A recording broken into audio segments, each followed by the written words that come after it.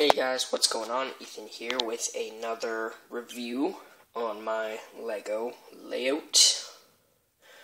So, um, first off, you'll notice a lot of changes.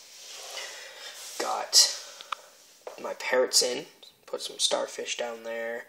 These barrels are new, right there and there. These are new. I'll put those in uh, the two from the minifigure mystery packs, the unicorn and the pig. Just because they, I think they kind of go together. So they're walking down the beach, and this is the Lego Creator Beach uh, hut. I think it's either hut or house slash store set. Um, got this pretty recently, and uh, had no building, so I just put it in there because I think it looks really nice and it takes up a lot of space and fits my scene going on. Also added some wave detail to match this wave detail. So yeah, if you haven't seen this set, recommend seeing it. It's pretty nice. However, by putting it in, I'm taking away the ability to open it unless I take it out of the layout. Also, got one of the vehicles in there with the guy going up to the front of the store. And he's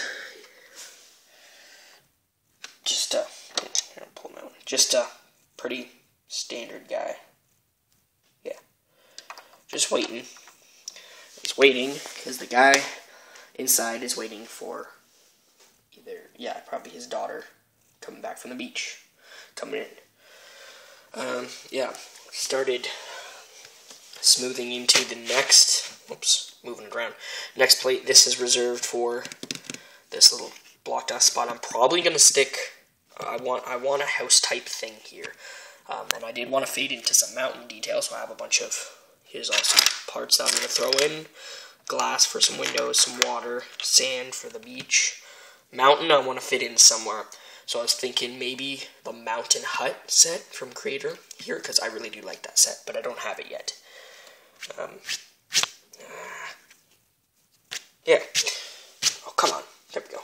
So yeah, um, that's really all that I've done on my city or layout, city layout thingy. Um, so yeah, check out some of my other videos as well, and um, rate, comment, subscribe, and I'll see you guys later in another video. See ya.